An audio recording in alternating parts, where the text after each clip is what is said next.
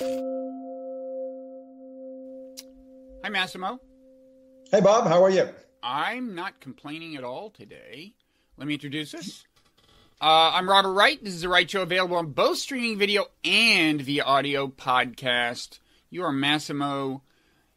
Should I say Pulu?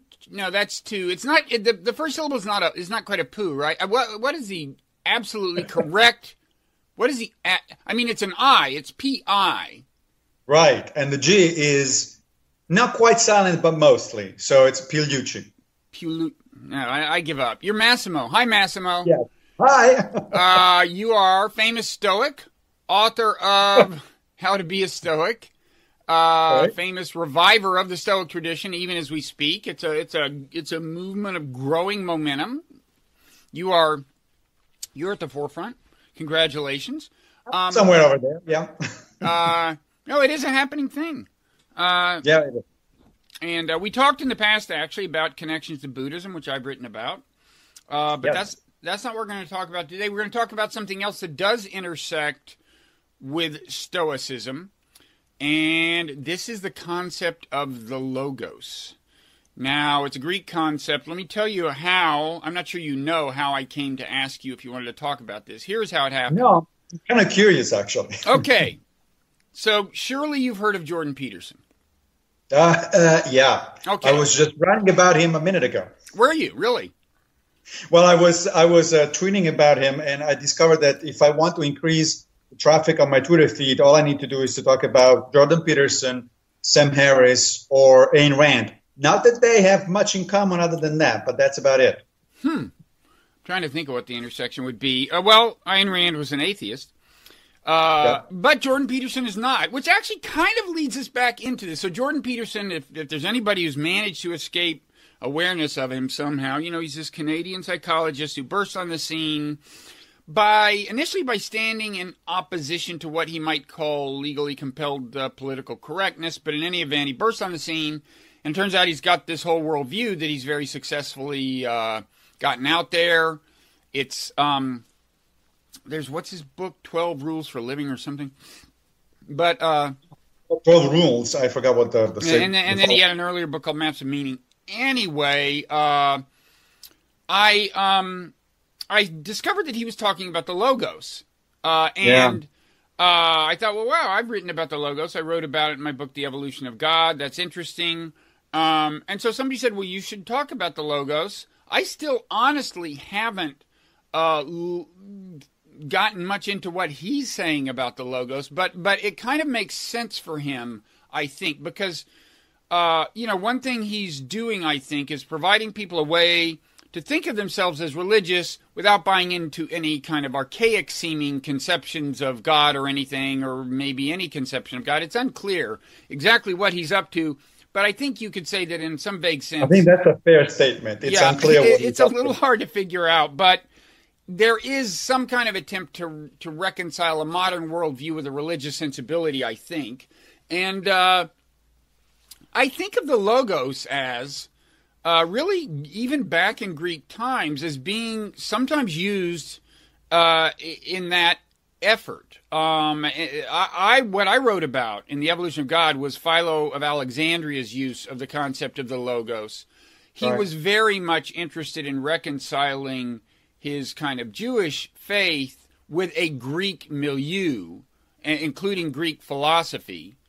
Uh, Yes. and and the concept of the logos is kind of in some ways on the borderline between theology and philosophy or at least it can be it can be made to sit there as Yes. as he did so it's a very interesting I, I I think it's a fascinating concept i said in my book if you want to you know look for a theology that you could call kind of scientifically respectable um, the logos uh, is probably something you should look into. The idea of the logos, and by the way, uh, of course, the uh, the the first, you know, in the book of John, when it says, "In the beginning was the Word," uh, the word that's translated as "word" is the Greek word logos, and presumably that verse would have, back when it was written, would have had a whole philosophical resonance for people that we don't get when we just see. Uh, in the beginning was the word. I mean that that phrase is suggestive, in, you know, equating God with the word, but it wouldn't have the same meaning for us.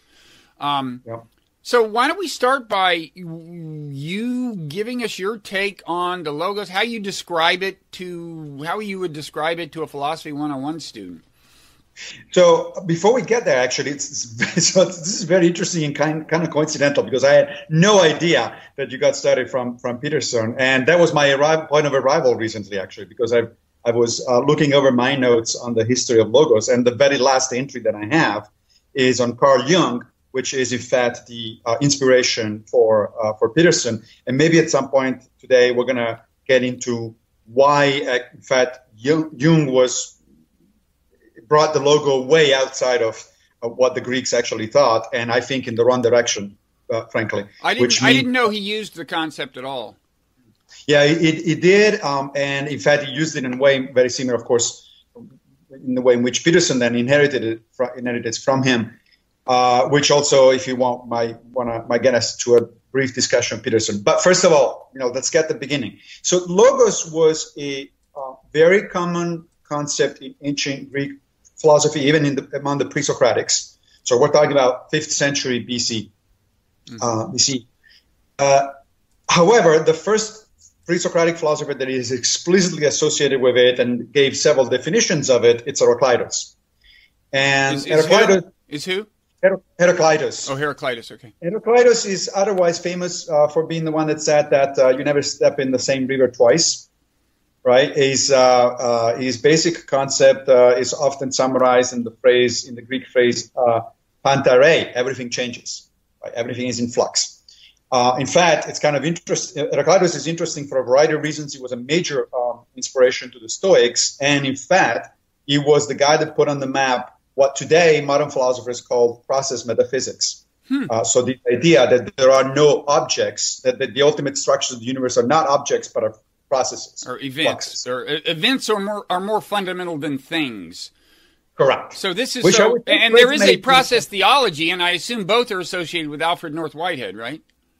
Yes, process uh, theology is, although that's that's a different, uh, significantly different concept, I think, from okay. process metaphysics. The process metaphysics really is about uh, this idea that goes back to Heraclitus, that, that, as you just put it, that processes are more fundamental than uh, than uh, than objects, uh, which, as you know, uh, is actually, I assume, resonates pretty well also from a Buddhist perspective.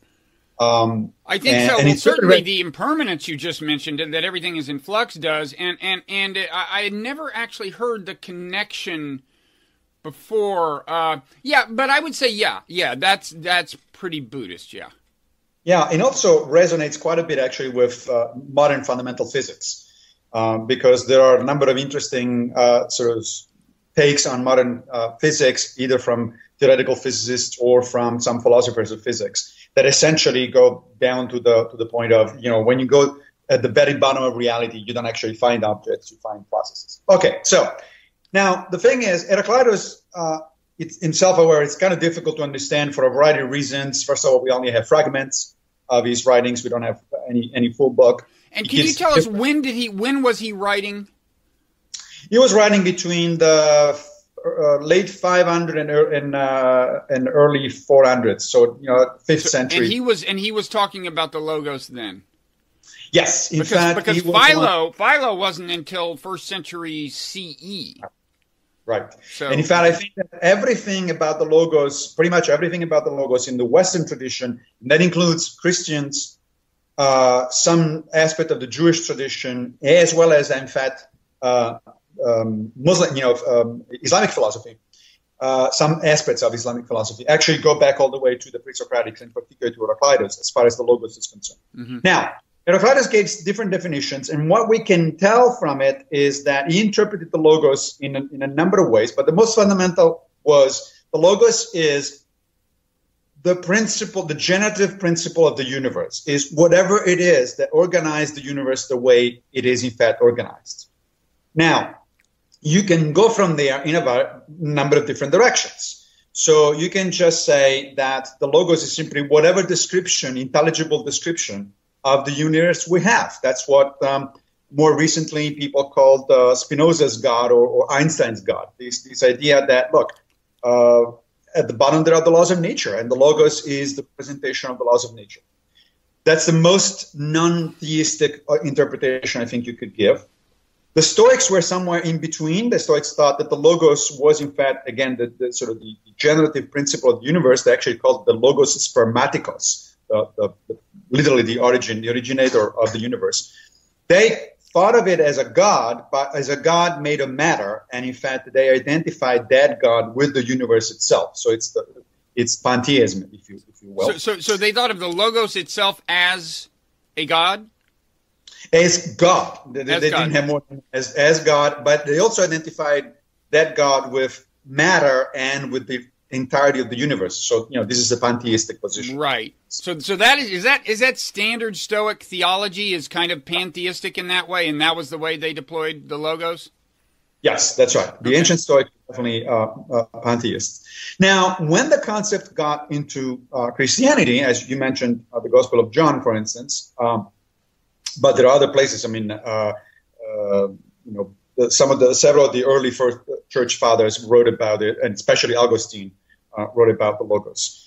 And they, of course, interpreted it as um, um, under a Neoplatonist kind of influence as either an attribute of God. So often, for instance, in the especially in the Gospel of John, uh, Jesus Christ is identified with the logos. He, he is the logos. Um, and then other versions of Christianity identified as the principle that is necessary to connect the divine with the human. Right. That's also the Neoplatonic uh, Platonic uh, view. And in fact, if I could interject, I would say I think the way Philo used it was, among other things, as on the one hand, he wanted to remove himself from the conception of an anthropomorphic God throwing thunderbolts. He wanted to think of God as, in some sense, transcendent, but then there needed to be some kind of connection between a transcendent God and us and our lives.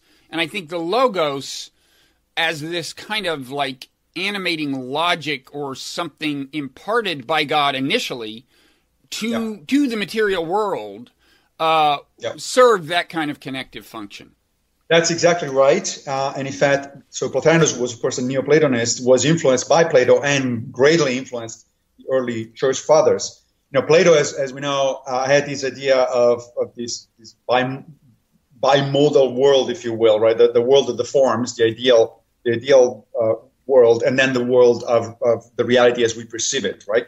Um, and he also needed a connection between those two. So, how is it that uh, the world as it is is sort of a pale reflection of, of the forms. And Plotinus, Plotinus thought that, well, the connection is the logos. The logos is what's ne- needed to put the glue basically between the, the world of forms and the world as we understand it. So it's, it's got a really interesting history. Now, of course, another part of that history goes back to Aristotle. Aristotle thought, uh, interpreted the logos in a, in a different way, but in, in, in a way that it's actually still uh, influenced in turn by Heraclitus, by one of the, the different meanings that Heraclitus put to the word associated with the word. That is, let's not forget, logos is where also the word logic comes from, Mhm. right? So Aristotle wrote in the Rhetoric that uh, if you want to make a persuasive argument with uh, with people, you have to build your argument around three uh, different but interrelated uh, sort of factors. One was the logos. That is, you have to have a good argument based on facts and reason uh, that you want to put forth. That's the logos for Aristotle. You also have to have the um, ethos. That is, you have to be able to establish your credentials as a principled person, as a person of character. That is, somebody can be trusted, basically, with the audience. And then the pathos. You have to make the emotional connection. You have to explain to people why is it that they give a damn about what you're talking about.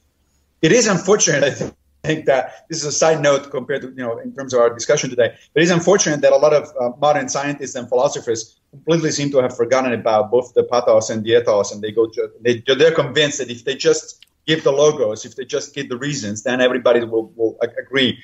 And as we know, that just doesn't work that way. but Aristotle would not have been surprised.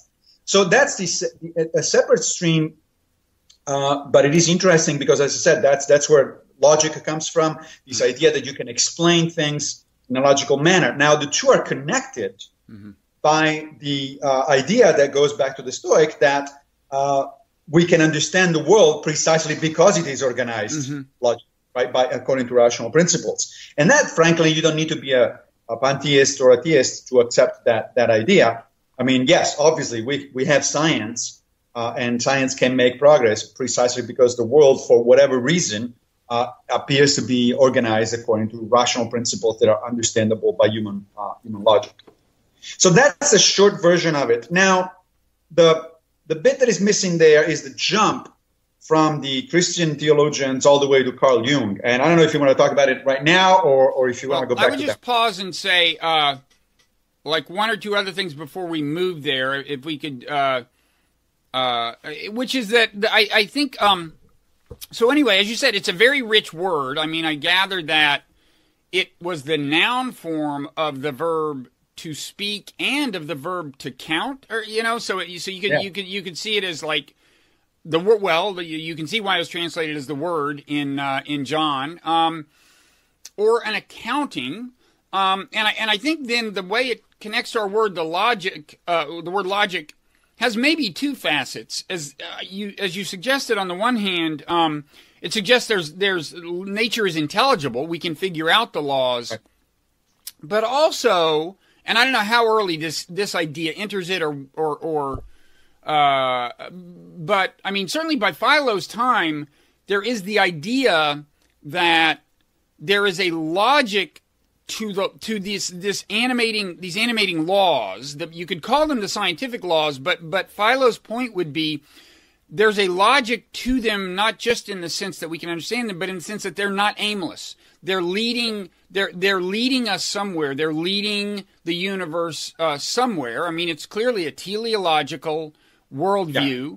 There's a purpose embedded in the logo, so you can see it as kind of like the unfolding. I mean, in modern terms, I'm tempted to use the word algorithm. There's like the unfolding of an algorithm of a of a of a logical kind of program, and the other thing I'd I'd say um, is is the logo certainly in Philo's renderings closely associated with the concept of wisdom right? Yes. So so there is, you know, uh, Sophia is of course the goddess of wisdom, as you know, having uh, been on on Dan Kaufman's uh, show Sophia repeatedly, which is available right. on meaningoflife.tv. Um, and uh, um, and there is this idea.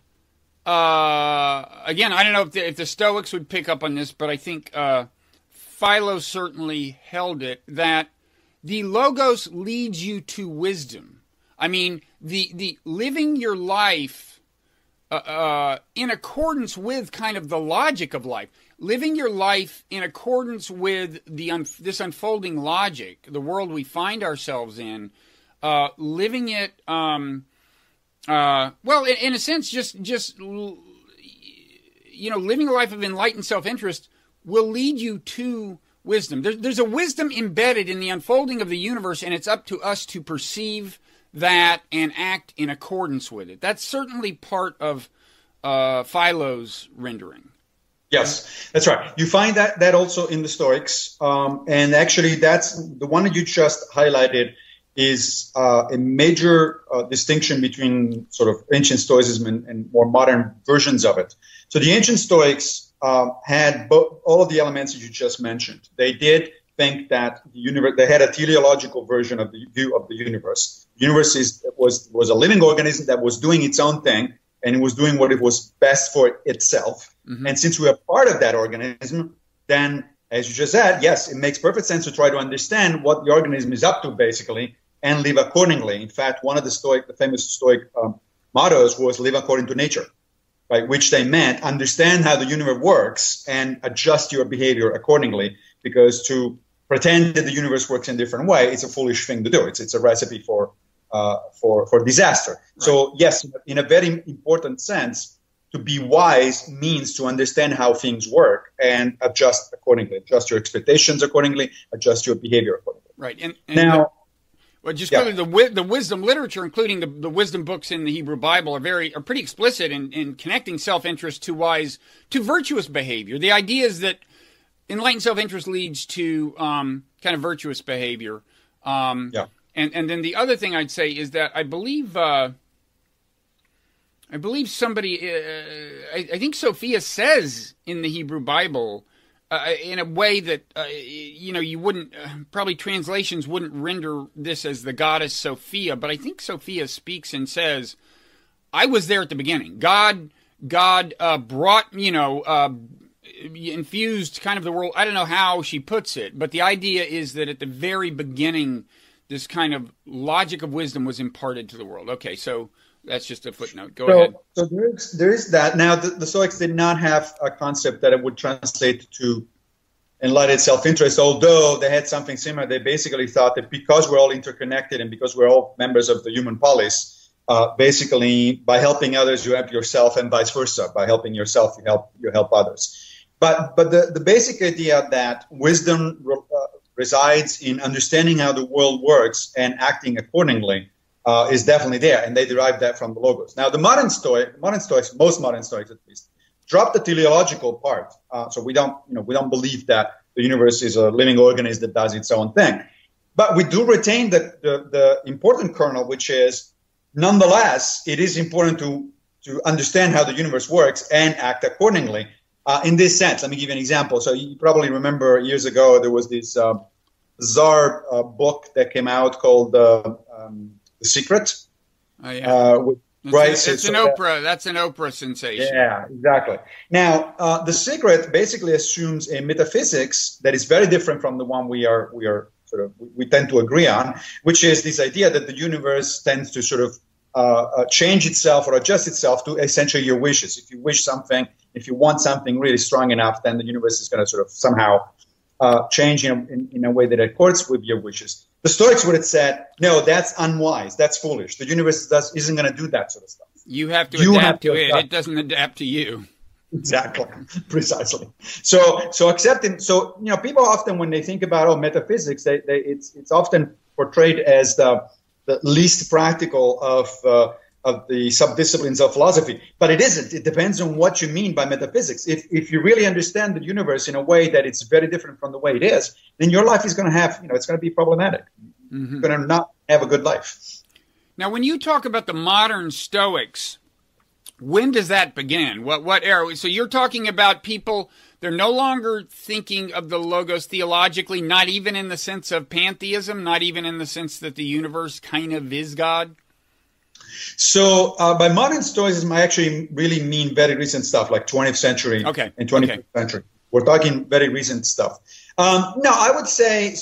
So I think of it that way. I think of the logos not in teleological right. terms, not in uh, you know in those in those terms. I just think of uh, the logos as the structure, the, the, the rational structure of the universe, however that originated. However, no, I wouldn't say that that's a mandatory thing for a modern Stoic one of the things that I do like about modern Stoicism is that it is, in fact, ecumenical in terms of metaphysics. If you're a Christian, you can still be a Stoic and you understand the Logos as the Word of God. If you're a pantheist, then you're fine because you are among the, you know, you're following the same tradition as the ancient Stoics. But a lot of my sense is that a lot of modern Stoics are neither. Uh, they tend to be, uh, you know, agnostics or atheists or, or, or some people that haven't really, they don't believe in any kind of, uh, of uh, sort of transcendental thing but they still can make sense of the world in terms of you know uh, uh, uh, interconnected web of cause and effect. Uh, they still accept the Heraclitus insight that everything changes, that there is no permanence in it anywhere, and therefore that it's a wise thing to, to accept that and to expect things to change and not to cling on things as you want them to be because uh, change is inevitable, and if you want to resist it, then you're going to just have a miserable life. Mm-hmm. Okay.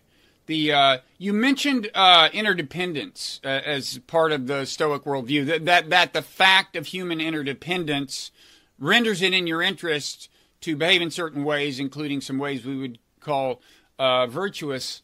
Um, for Philo, uh, this was a big uh, a big deal, um, and he he had a. I mean he he he almost viewed and I mean this this kind of really got my attention because in my book Nonzero, I had really emphasized the way, you know, as a, as a driving force in human history, the fact that new technologies come along and permit the playing of non-zero sum games on a larger scale with more people and so more elaborate forms of interdependence, more complex forms, you know, more more uh, social complexity grows in to accommodate this and and so on. Um, and he really, uh, I mean, he didn't didn't explicitly include um, technology, but he did say that like the way a big part of the way the logos works is that different things by meeting each other's needs. Not just humans meeting each other's needs, but humans meeting the needs of animals and animals needing meeting the needs of humans and so on. All of this kind of interdependence um, drives the was driving the world toward, uh, as I recall. I mean, I haven't really reviewed this lately, but um, you know, a kind of a global harmony. I mean, he did envision a global democracy as the culmination of the logos, and there would be uh, harmony, and it was all uh, driven by the fact of just inner practical interdependence. That was an expression of the logos. So I think of this right. as, as as really apt for an era of globalization when you know interdependence is is uh, you know the the quest for mutually profitable interdependence drives so much, um, and the world increasingly does seem like in principle a single community, although it uh, seems in some ways more fractious than ever. But but the technological possibility of a harmonious community is there, and that that is all just strikingly compatible um, with his vision. Yeah, the, the possibility of a, of a global community enhanced by or made possible by technology is certainly there. I, I would argue that what's getting in the way uh, at this point is mostly sort of ideological and political uh, uh, factions, uh, and, and, and of course, as you know, as we know, financial interests that are not in the in the, in the general interest of the people, but in the but but they yeah. serve the interest of a very few very few. But yeah, the Stoics actually it's kind of it's interesting, and you say uh, was sort of uh, envisioning this kind of global democracy.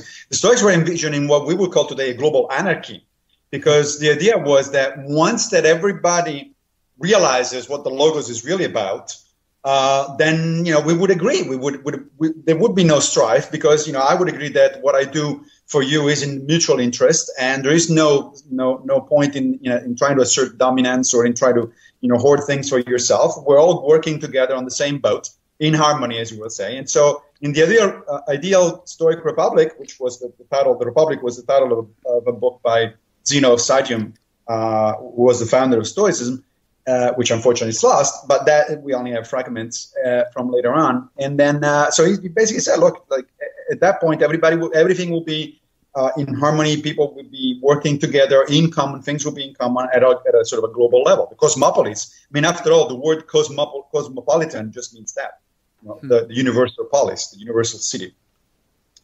Yeah. Um, so yeah, the idea is that we will get there. But here's the thing. Um, Heraclitus, I was just rereading before our call today some of the fragments from Heraclitus. And Heraclitus, uh, very wisely, I think, uh, warns essentially uh, future generations because he says, look, the logos is there and we have the ability to understand it. And yet, most of us go around the world ignoring it and, and you know pretending that it's not that it's not there. And uh, one can make a further leap and say, you know, the, a lot of the causes of, of, strife ever since for the last you know, two and a half millennia has been this lack of understanding or this unwillingness to understanding that we are in fact in a cosmopolis and that we all should work with each other. Right. Well, Philo, this was certainly uh, he had ideas about this. I mean, I mean, first of all, I should say I, I, as I recall, he, he had this idea that the logos was both uh, had both shaped everything you see, but there was also a logos within your mind. It was almost like a fractal thing. Like the logos in the large sense is the mind of the universe, but because it is what created us, the there is the uh, there is a logos within you. You know, the the mind of your body is like the logos of your body, but um, it was, uh, you know, kind of like distorted or obscured by emotions and so on.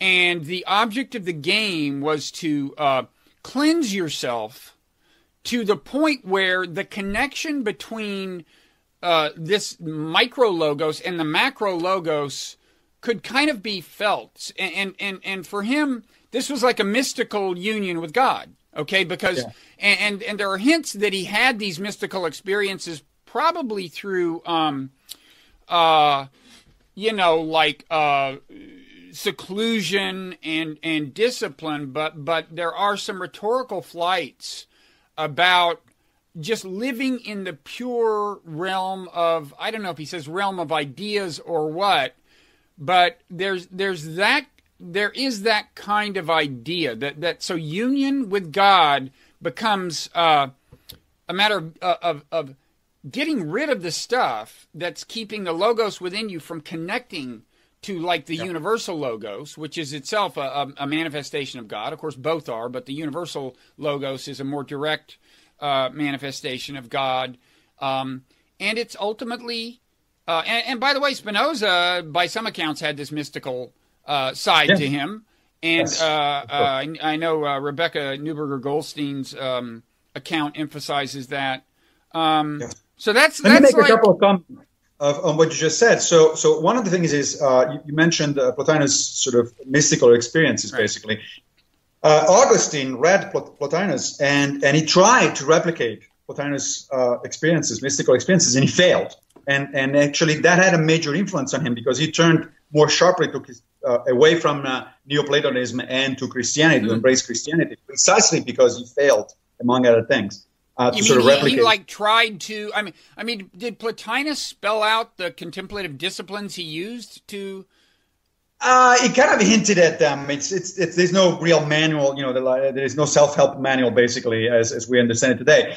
But uh, but um, uh, Augustine thought that he had an idea where Plato was going with this, and that sort of he tried to achieve the same kind of uh, contemplative, you know, experience. Uh, and by his own account, he failed, and that's one of the, the, reasons he turned more toward Christianity and away from Neoplatonism, even though he was uh, influenced by by the Neoplatonism, particularly by Plotinus. But um, the other thing is, uh, a lot of what you just said is also again compatible with with the Stoicism that preceded Plotinus, uh, which is this this idea that yes, we are literally bits and parts of the logos. The logos is in every one of us, and in fact, Epictetus says very very often uh, in his discourses that you should always have in everything you do, you should always have two goals. So let let's say that you know his example. I, I love one of his examples.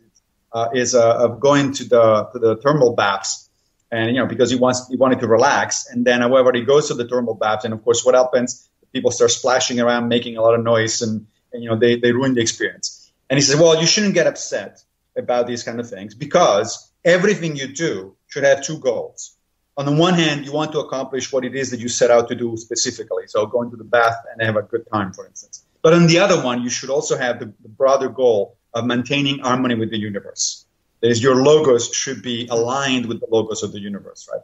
And so he said, you know, between those two, well, the fact that people are going to splash in the in the in the thermal baths is not really that important. I actually apply that every time that I go to the movie theater, because of course, predictably, somebody tries to ruin, not on purpose, but tries to ruin my experience by turning on a cell phone in the middle of the movie and glaring at uh, you know their screen at me, and I keep and I I channel my inner Epictetus and I said, you know, you have two goals here. One is to enjoy the movie. The other one is to keep uh, in harmony with the logos. And that kind of helps. So wait, so so so so uh, and and the keeping in harmony with the logos is dictating what part of your reaction? Just the just the not not getting drawn into your emotional reaction to the person.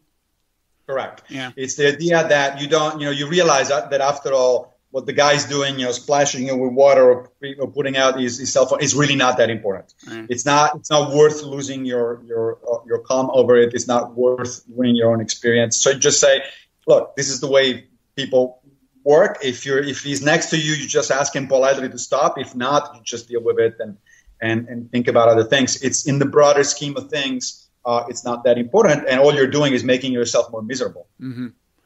So, um, so you mentioned uh, Plotinus, a Neoplatonist, which is close to being all I know about Plotinus. I mean, every once in a while I try to learn more about Plotinus, but I always kind of uh, forget it. I mean, uh, I mean, it got very elaborate. The whole I remember the whole worldview, but but without getting into that, can you elaborate a little on what you said? I, did you say something about the logos being a connection between the world of forms?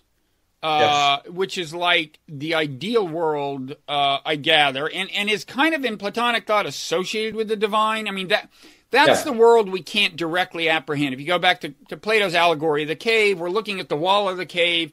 We are seeing emanations of this world of forms, of this ideal world, the world of the divine, but we can't see that world directly, and and uh, and you're saying that um, that the logos was kind of a connection. Correct. That's right. Especially for Plotinus, but also for the early Christians, in fact. Um, and, and in fact, not only the Christians, but even later on uh, within the uh, Islamic tradition, uh, they took the logos uh, to be sort of a connection between the, the, the uncreated, that would be God, of course, mm-hmm. and the created, that would be the rest of us, you know, the mm-hmm. rest of the rest. Of yeah, in terms of Plotinus, yes, he was influenced, of course, by, by Plato. Um, and Plato did not really have much of a mechanism for connecting the, the, the, the world of forms with the world as we perceive it. He did have this idea, I think it's in the, I'm pretty sure it's in the Republic, uh, that he talks about these, the, the. The demiurge is this minor god or intermediate god that actually makes the universe as we understand it. And it's an interesting idea if you think about it, because one of the problems that Christi- Christian theology often runs into is the, the, the question of evil, right? The, why is it that the world is such a shitty place uh, if God is such a you know all powerful, all good, and all that sort of stuff? Well, Plato and the Neoplatonists had a pretty good answer actually for that one. They say, well, that's because God is out there with you know the, the pure in the pure realm of, of, of forms, and then we are the result of the of the action of the of the demiurge, or as Plotinus put it, the logos, and the, the, the demiurge had to work with whatever it is that was there. You know, so it's not he's, it's not that he created a shitty universe on purpose. It's just that he, he had certain materials and there were certain constraints, and this is the best you can do uh, with it. So don't complain. This is this is the, this is the result. This is as get it as close as you can get to uh, to the real thing, but the real thing itself is inaccessible. Okay, and. Uh and as for Christianity's use of it, I mean, one, one, one use is, is suggested by that verse from John. It says, in the beginning was the Word, and and the Word was with God, and the Word was God. I think that's the phrase. Now, I think I think John is maybe the gospel in which Jesus is most explicitly equated with God. Right. So it's talking about Jesus and God. And uh, so, anyway, in the beginning was the Word. I mean, that's consistent with this idea that, uh, you know, that, that, that, that that God just initially infused the universe with this logos thing, and it was a yeah. manifestation of Him. It was with Him and and was Him in some sense. Um, yes. And then Jesus, of course, is uh, particularly vivid as you know a manifestation of God that's in this world. That that that that right. is that is a link between a transcendent and remote God um, and and the world we're in now. It, but I, but is there? But there's more than that to. Well, yeah, there is more, but but but that's the basic idea that you're right. Jesus is literally the incarnation of of this connection between the, the world of God and the world of of you know the terrestrial world of humanity. Um, it's interesting that so you mentioned yeah, John. So the early the early Christians were a little bit frustrated by the fact that they had to translate the word uh, logos, the Greek word logos, with the Latin, because of course Latin was the, the, the lingua franca in the Roman Empire. Uh, but Latin's vocabulary just did not was not really quite as sophisticated as the Greek one. So the word that they used was verbum, and verbum in Latin literally translates in modern language as, as word. Ah. But you mentioned earlier that logos didn't mean just word; it also mean, meant counting, and also meant the, the the the root of what we call logic. There is a reason for that. Um, the early philosophers from the pre-Socratics uh, up until Plato included, they thought that, and especially the Pythagoreans, they thought that counting, that is geometry, mathematics, and all that sort of stuff, is an integral part. It's a necessary part of how you understand the world. Uh, it was not by chance that if you if you entered Plato's academy, you had to one of the disciplines you had to study, one of the fields you had to study was geometry, because the idea was, you know, Plato actually thought that ideally philosophy could pattern itself on, after mathematics and, and geometry. So that's why the word logos in the Greek is much richer than uh, the one that we got from the Latin and then eventually into modern languages. Just that it doesn't just mean word; it just means a general way of comprehending how the universe works, which mm-hmm. includes words, logic, mathematics. Basically, all of what today we use, everything that today we use to understand how the world works. Yeah. And, and this is why I kind of like, you know, the idea of an algorithm is one way of thinking about the logos because, uh, yeah. you know, it has a logic.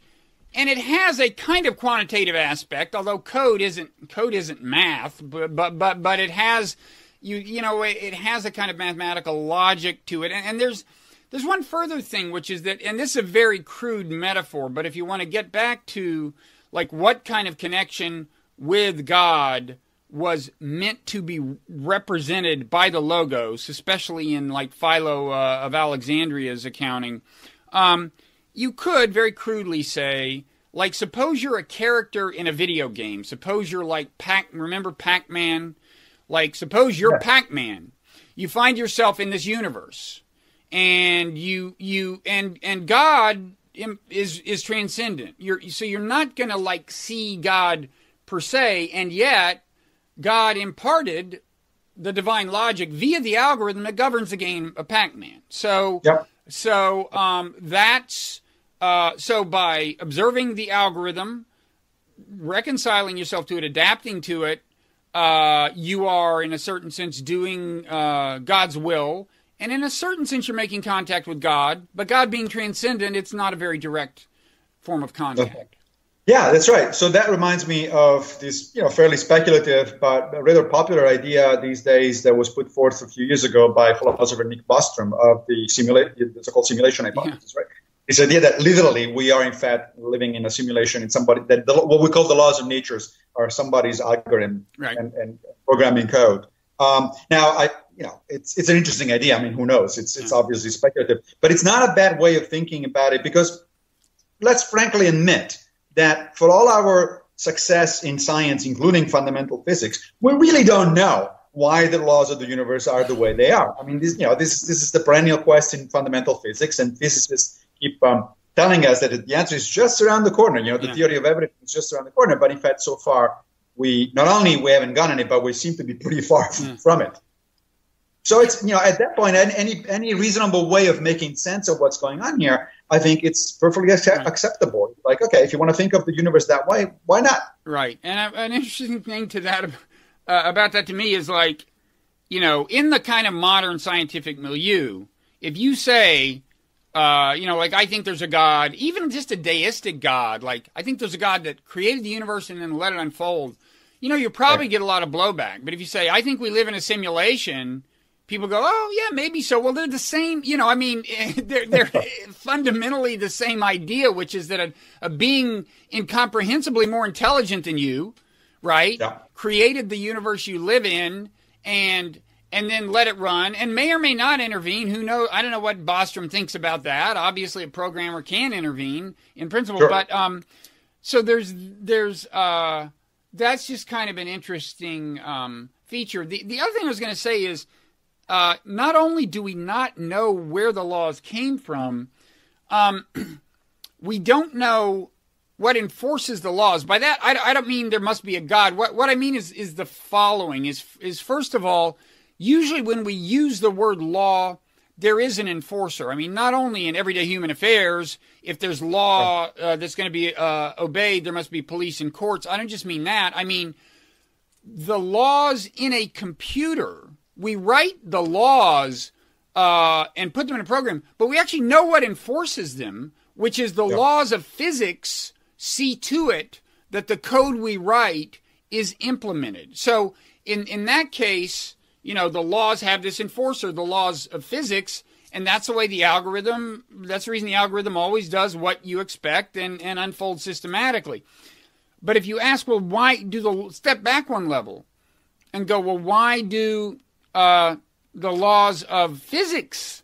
You know, is there a need for some meta enforcer that's that's comparable to what the laws of physics do for? And, and again, I'm not saying it has to be a theistic enforcer. It could be a metaphysical, sure. another metaphysical uh, stratum. Sure or something. If that does that make any sense? Is that something philosophers it, worry it, about? It does. And, and, let me tell you something interesting that that um, um, I didn't realize actually until a few years ago uh, when I started looking into these into the idea of sort of laws of nature a little bit more carefully.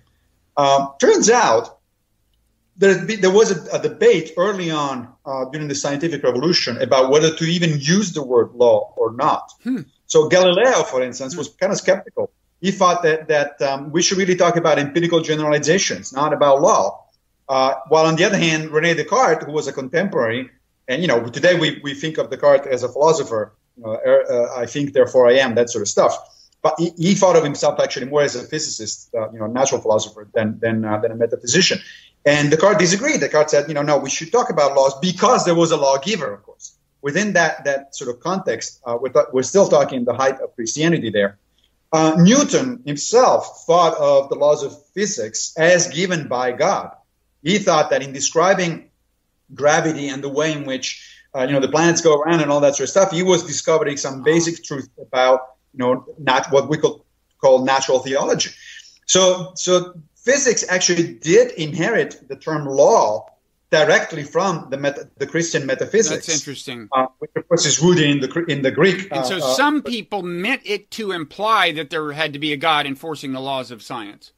Yes, and these are not small. You know, these are not minor characters. We're talking uh, Descartes and, and Newton. So No, it's like you know, I've heard of them. Big, big shot. Yeah, you heard of them. Yeah. So now today, of course, no physicist, or at least very few physicists, I would think, think of laws of nature that way. They're just using the vocabulary. But the fundamental question remains: you know, why? What makes the laws of nature? Why do they work the way they work? Why do they infallibly work Right. the way they work? Right now, a couple of philosophers recently, uh, as in the last two or three decades, particularly Nancy Cartwright and and Neil Hacking, uh, actually started questioning that the laws of nature work that way. Uh, uh, Cartwright and Hacking kind of went back to uh, Galileo's idea that maybe the laws of nature are not laws at all. They're they're just empirical generalizations that they, they work within certain domains, but they might change over time. Some physicists have gotten uh, under that um, idea as well. Lee Smolin at the, at the Right. uh, Perimeter Institute, for instance, is one of them. Now, this is definitely a minority position, both Yeah. within philosophy of science and within physics. But I find it interesting. I find this, you know, Right. because this idea that, well, perhaps the, the way, and actually it works better with your idea of an algorithm, because an algorithm adjusts itself uh, to the situation uh, that that, um, that unfolds. And so one of the things that um, uh, Smolin, for instance, suggests is that uh, uh, what happens is that that um, uh, causality creates, you know, causal causal interactions create certain things, but then those, you know, certain results, certain effects, but then those effects change the environment in which further causal events actually occur. Mhm. And therefore, you might have a situation where, at some point, what we call the law is going to start breaking down, or it's going to start looking, you know, working in a different way. Who knows? I mean, it's, it's really interesting And, speculation. and of course, uh, Smolin has this idea of cosmological natural selection, according to which universes could give birth to one another, perhaps through black holes, and so over time, you get universes that are selected, rather like organisms under natural selection, to replicate themselves. And so he, he has this idea to begin with the universes may be unfolding things somewhat like organisms, and it could be that the evolution of the laws, you know, just as the algorithms governing an organism change over time in a certain sense, right? I mean, uh, you know, so it could be, it could have something to do. Um, Yeah, it's it's it's interesting that uh, you know I'm as a biologist I'm a little wary whenever I hear a physicist use the word natural selection. But nonetheless, since we're speculating anyway, uh, idea is interesting because one of the reasons he get at that is because of this problem of um, uh, of of the fine tuning, what what this is called the fine tuning problem, right? So this idea is how is it that the laws of nature seem to be so adjusted in a way that you know they make possible certain things, including us, Mhm. including, including life, intelligent life, etc. And uh, you know, one answer, one classical, the main answer that uh, that these days um, uh, physicists will give is the multiverse. Is this idea that well, there's an infinite number of infinite number of universes, each one is a different set of laws of nature. We just happen to live in, in one that um, you know that has the, law, the laws that allow these kind of organisms to evolve. Uh, Smolin is, is uh, skeptical of the idea of uh, multiple universes, which he, think, he thinks is untestable. And so his alternative is, the ones that you just uh, brought up, which is this idea of, of universes that butt from each other through, you know, through uh, black holes. And every time that this happens, there is a selective event that will change the parameters, in a sense, Mhm. of the of, of the of the algorithm. Uh, and the, the more stable it happens to be the case, and the more stable universes are the one, of course, that uh, you would expect to survive, quote unquote, right. uh, because they last long and therefore they have more opportunities to generate themselves additional baby universes. uh, and uh, a universe with stable laws that that uh, is able to survive for billions of years is obviously the kind of universe where you will find life. You're not going to find life in a universe that, that lasts a, a nanosecond or anything mm-hmm. like that. Mm-hmm. Okay. Um, so uh, you mentioned that Jung, uh, and this could be the Jordan Peterson connection. I mean, Jordan Peterson, I gather, gets into Jung uh, quite a bit, and, and presumably archetypes and things. Um, yes what? So you, but you said Jung's uh, use of the logos was a little like aberrant or something. I mean, what, what, what can we say about Jung and the logos? So in my, in my mind, it is. I mean, Jung, the problem with Jung is uh, like a lot of early psychoanalysis and a lot of early uh, sort of um, yeah the modern, the early part of the 20th century tends to be very speculative. You know, Freud for, it, for, for to begin with, but um, Jung then tended to be not only speculative, but also going toward the sort of mystical uh, directions. He was very interested in you know, archetype, the idea of an archetype, for instance. Um, so he goes in directions that are either downright mystical or certainly very difficult, if not impossible, sort of to test empirically, uh, which is why one should be skeptical of, of that line of, of, thought to begin with. As far as the logos in particular is concerned, uh, Jung thought that the logos uh, is the embodiment of masculinity. It's the it's the, hmm. it's the principle of rationality which is associated with men, uh, and on the other hand, uh, eros is the embodiment of femininity and and and uh, uh, emotion, and that's of course in his mind associated with. Uh, women. So right? logos and eros are the two are two kind of like the yin and the yang. That's exactly right. In fact, it's kind of interesting you say that because he does mention the yin and the yang uh, as, a, as, a, as an analogy, as a way to, to, use, as a way to think about how the logos and the eros sort of interact. But he does see them as distinct, as personified by men and women, and that's where Jordan Peterson gets off. Right? That, so, that is explicitly that's what Jordan Peterson is picking up on. Yes, that's right. Uh, that hint, and it's from there, from that kind of Jungian uh, sort of analysis that he gets these these ideas that are fairly controversial that you know men are again rational strong and so on and so forth and women are emotional weak and so on and so forth which of course not surprise surprise uh, leads to the confirmation of sort of classical role models you know uh, uh, sorry not role models but gender model and so on and so forth. And so you can imagine why uh, peterson pisses off a lot of uh, people that tend to be on the sort of progressive side of, of the political spectrum. So now, uh, Jung himself, as I said, is, is, was a controversial figure at the time. Um, my sense today, from a philosophical perspective, is that his ideas are essentially considered uh, to be charitable, highly speculative, and to be uncharitable, essentially, you know, sort of pseudo-scientific and mystical. Mm. When you, but at least he was a sort of some kind of a solid thinker at, uh, at the time. I mean, the time people took it seriously for, for reason, for good reasons to sort of riff off of him now uh, in the way in which Peterson does, which is, uh, you know, people often ask me, you know, so how, how do you characterize Peterson? Why is it that he's, that he's, so popular? And what I read of him, by him, I read both uh, parts of his books and watched some of his videos. Uh, and I also made a point of actually reading uh, a number of both positive and negative reviews of his books, just to have an idea what other people think about uh, this guy. And in the end, you know, if I had to summarize it very briefly, I would say that Peterson is a combination of three things. He says a number of things that are rather platitudinous. They're kind of, you know, acceptable because they're obviously true. You know, like you should be, uh, you know, be responsible, take responsibility for your actions and decisions. Clean, well, up, clean your room. Yeah, no kidding. Yeah, that's what my mother used to tell yeah. me. So yeah, I, I, would. That's that's not a, not a problem.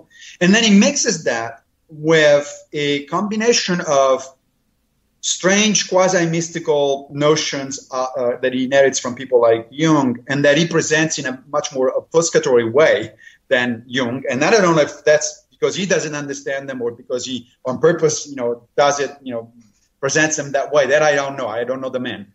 And then the third element is uh, these somewhat pernicious sort of social uh, political implications that he gets out of this kind of mix of platitudinous things and of, and obfuscatory mysticism.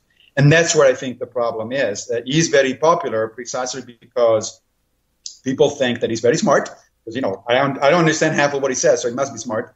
Um, and um, and he validates certain people's views of the world, right? So, so there is, we, as we know, we do live in a society, especially in the United States, where a certain sector of the, especially white male population, feels after under attack, uh, feels like things are changing, and they don't want them to, to be uh, changing because you know they don't take Heraclitus seriously, um, and therefore there's some resentment. And, and anybody who speaks to that resentment, uh, especially in an academic, uh, apparently authoritative fashion, then it's bound to be uh, popular, and sure enough, that's that's what uh, it's happened. That's that. I think that goes a long way toward explaining the Peterson phenomenon. Yeah, he apparently has a. Uh, I mean, his most ardent following, I gather, is kind of young males, uh, or certainly young, maybe young to middle-aged males or something.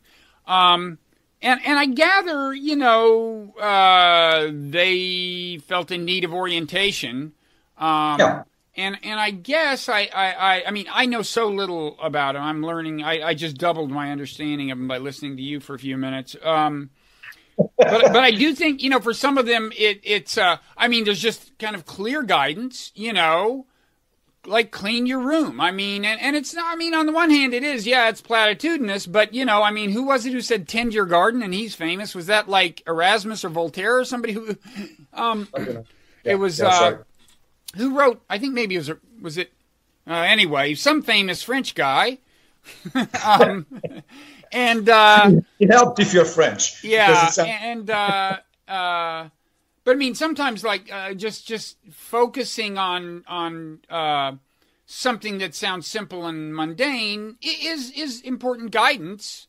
Um, yeah. But uh, but I do think beyond so so it gives them I I think I assume it gives them a kind of practical orientation and you may be right that part of the appeal is to old fashioned, manly uh, virtues, a, a, sense of traditional masculine self conception. It's like, you know, don't. Don't don't let modernity talk you out of it. You're a man, um, right. and then I think for some of them there is uh, the idea that this is a spiritual endeavor. That that and this is when I this is where I gather he gets the vaguest. I've heard a couple of people try to pin him down on the sense in which he thinks of himself as religious. And it's pretty elusive. Um, but but I think uh, for some people that's important. Like uh, a friend of mine who's something of a fan of his, uh, or at least some aspects of his thought, uh, says that um, uh, he does things like you know, there's, a little Joseph Campbell in him. Uh, yes. You know, right. it's like, like summoning mythical motifs and themes, and then you don't have to necessarily get that clear about what ex- how exactly they're supposed to plug in your worldview. It's just like the very evocation of them um, is right. uh, is something. But like somebody said, he he he he does this thing. One of his many riffs is he says like okay so there's these three parts of your mind and i don't know what three they are and they're probably three parts of the mind that you or i wouldn't agree are actually three distinct parts of mind but anyway he says this one maps to the father this one to the son this one to the holy ghost so that's like a kind of connection to christianity without actually making any assertions about the truth in the traditional sense of christianity um, but when I hear that, you're absolutely right. I mean, your analysis, I think, is, is right, right, spot on. Uh, but when I hear those kind of things, I have my my analytical philosophy mind kind of, kind of sort of steps back and says it's it's the same thing when I hear um, uh, some misguided I think Christian theologians say something like uh, the the particle wave duality of light it's like the dual nature of Jesus Christ. It's like no, it isn't. Just because two things are dual, that doesn't you know that just because there are two things there, that doesn't mean that there is a meaningful analogy. And the same goes. I think with the the, the the three things or whatever it is. Yeah, but you're right that kind of, frankly, in my mind, sort of fuzzy thinking um, is very appealing yeah. because it sounds good. It, it, so, so long as you don't scratch too much below the surface, it sounds good, and you don't need the people to, to, to whom this, this, this kind of uh, approach appeals. They don't need to scratch below the surface. They don't want a deep metaphysics or a deep theology or anything like that. They just want to have a uh, some kind of validation of their worldview based on something that they think is uh, you know either transcendental or, or, sort of sophisticated enough that it that it's you know, it sounds pretty pretty I mean, good. My, my own view is you know whatever works for people. The question is is it leading to constructive behavior or not? And I don't honestly know enough about his worldview uh, to say. Uh, I, I, mean, or I haven't done an anthropological study of, of, of his followers or anything, but I mean, you know, people, uh, you know, if Joseph Campbell does it for you and turns you into a great person, whatever, uh, or Jung. I mean, I, I, I, don't, I judge people by their behavior and not, not, not their, uh, not, not uh, I mean, I see their behavior as the important kind of payoff of, of their beliefs for my purposes. The, the other big theme of his is, uh, is chaos and order. And yeah. you know, you can see how that I mean, that, it is a fundamental thing, let's face it. I mean, look around my office. It's chaotic. I need to impose more order. I need somebody to give me that sermon. Clean up your damn sure. office. And yet, I think an equal part of his emphasis is probably don't be afraid of chaos. Feed off of chaos. There, there is risk in life. There is, you know, it, I think there's something about navigating the border between order and chaos. Um, and you know, to get back to the logos, I would say that you might, if you brought Philo of Alexandria back from the dead, you know, he might say, looking around the world, and you say, look, you know, there's all this promise, there's this interdependence, there's these people, you know, doing great things together, but there's this chaos and there's this fighting. I think he'd say, to the extent that the chaos predominates, it means you're not heeding the the logos. You're not paying attention to what the logos is telling you about right. how to behave toward one another. And so I'm on board with that. Uh, now I will. Ha- oh, I'm on too, and and I, w- I do agree that that uh, yeah, people should definitely be judged on the basis of their actions, not not necessarily where they get it. You know, if, yeah. if uh, I try to be as ecumenical as possible. Uh, if if religion does it for you, by all means, go ahead. If you know if, if Joseph Campbell does it, go go ahead. Problem is, of course, that certain ideas or certain ideologies do have also uh, consequences, you know, negative consequences uh, for other people and for for society. So you're right. It would be interesting to do a sociological study of, of Peterson's followers. I don't think anybody's done it yet. Um, you know, uh, from what I see from their reaction, as I told you earlier uh, during this conversation, if I feel like I need a boost in my Twitter feed uh, in terms of traffic, then I just talk about Peterson or uh, Sam Harris or Ayn Rand. Um, and so I do get a feeling for what at least some of his most vocal followers um, are arguing. And the kind of things that I do hear seem to be uh, problematic because, yes, they're helpful to themselves, but that's also to the detriment, that help to themselves comes to the detriment of others in terms of sort of uh, beginning to view certain other classes of people. And what, what's an example women. of that? You mean the way they talk about women, or the way, or what? Particularly women, yes. Uh, they, they, they, it tends to be there's a, a, serious component of uh, not just sexism but but misogyny, which, as you know, is a, little uh, uh, stronger word, which I do think applies. Um, less clear about how that applies to you know, things like minorities, for instance, because he, at least uh, these followers don't talk about much about that, although mm-hmm. uh, one suspects that that's also lurking around the, pro- the, the, the corner. But most of what he, sa- he, he himself says uh, when he talks about sort of relations, then then it's about men, this contrast between men and women. In fact, you mentioned chaos and order.